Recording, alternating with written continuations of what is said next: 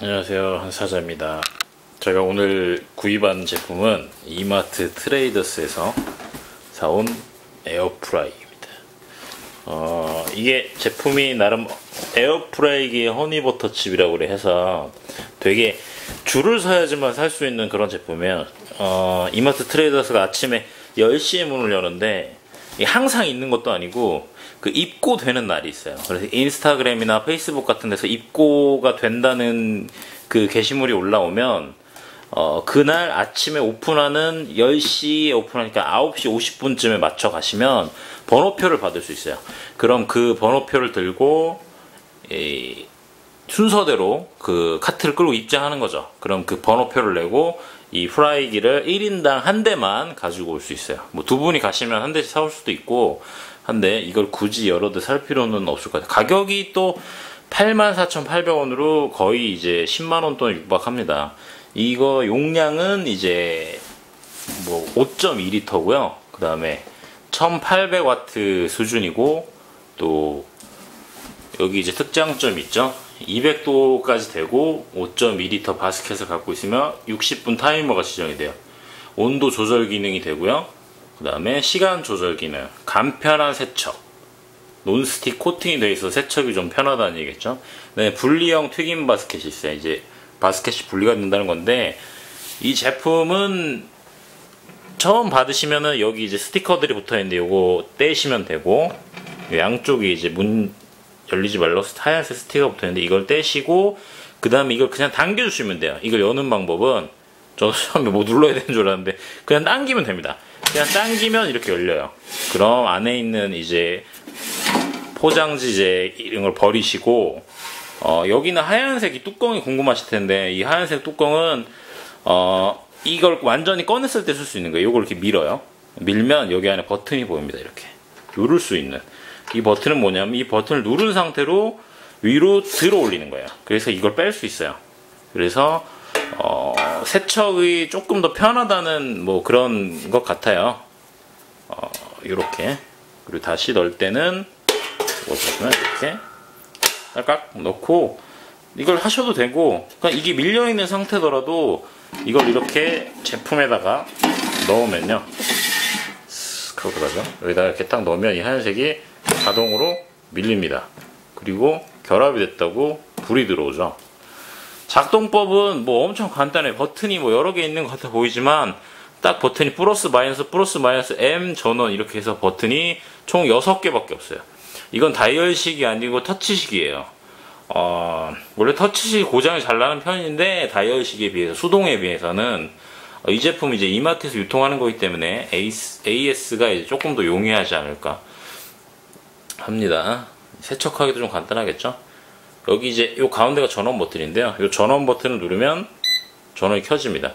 요게 이제 현재 그냥 무조건 기본 180도가 된 거예요. 이 왼쪽에 있는 플러스 마이너스가 있는데 이 플러스 마이너스를 누르면 올라가죠. 한 번씩 누를 때마다 5도씩. 최고가 200도예요. 200도로 하는 게 제일 좋고요. 그 다음에 저온까지 하게 되면 밑으로 많이 있습니다. 요 누르고 있으면 내려가요. 5도씩 이렇게 빠빠빠빠빠빠빠빠빠빠 내려가요. 80도가 제일 최전에요. 그 다음에 오른쪽에 있는 게 이제 요거 분이에요. 이것도 누르고 있으면 분이 이렇게 올라가죠. 내리고 밑으로 하면 분이 내려가고요. 그 다음에 여기 모드 기능 있죠. M 보시면 M을 한번 누를 때 감자튀김, 뭐 삼겹살인가요? 뭐 새우튀김, 뭐 빵, 뭐 닭다리, 뭐 고기, 뭐 생선 뭐 이런 식으로 있습니다. 그 모드에 맞게 요거를 이제 설정이 되기 때문에 요걸 한 번만 눌러줘도 이제 해결이 되고요. 뭐 간단하게 그냥 해보고 싶다 그러면은 이제 아이고 이게 돌면 소리가 나. 내가 수동으로 한다. 그러면 여기서 이렇게 하고 분을 맞춰준 다음에 다시 한번 전원 버튼을 눌러주면 작동이 되는 거예요. 여기 팬이 돌면서. 그럼 이제 지금 빨간색 불이 들어와 있잖아요. 이러면 작동 중이라는 거예요. 다시 한번 눌러서 끄면 끌게요. 끄면 가운데 빨간 불이 없어지죠. 이러면 꺼진 거예요. 안에 열이 남아있기 때문에 그 열을 식혀주기 위해서 안에서 팬이 돌아요. 꺼도. 어, 여기 보시면 물기 없는 거 습하지 않은 거 평평하고 습해인 곳에 벽면이나 유리창으로도 충분한 거리를 두고 사용해 주십시오. 30cm 이상. 해서 제품의 뒷면하고 바닥에서 배출구에서 나오는 뜨거운 바람이 나온다고 합니다. 여기 보시면 나- 나와 있죠? 그래서 이쪽 이 제품을 뒤로 좀 돌려보면 이 뒤에가 뜨거운 바람이 나온다고 돼 있어요. 그러니까 어, 너무 가까이 붙이시면 바람 배출에 영향이 가니까 어느 정도 좀 띄워두시는 게 좋습니다.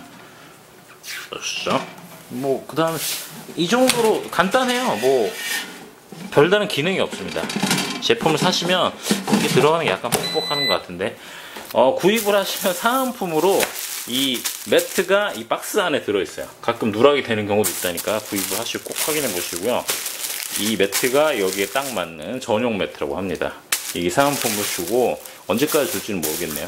그리고 어, 레시피북이 또 들어있어요. 여기 보시면 레시피북에 뭐 새우튀김 뭐 저저저 이렇게 나와 있죠.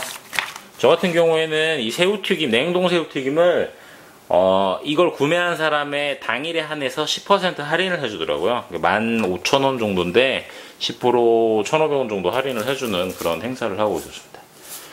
그리고 이거는 지금 예전에도 그러니까 판지가 좀 꽤 됐는데 이건 지금 지금 보시면 에어 더 에어프라이어 플러스 second edition이에요.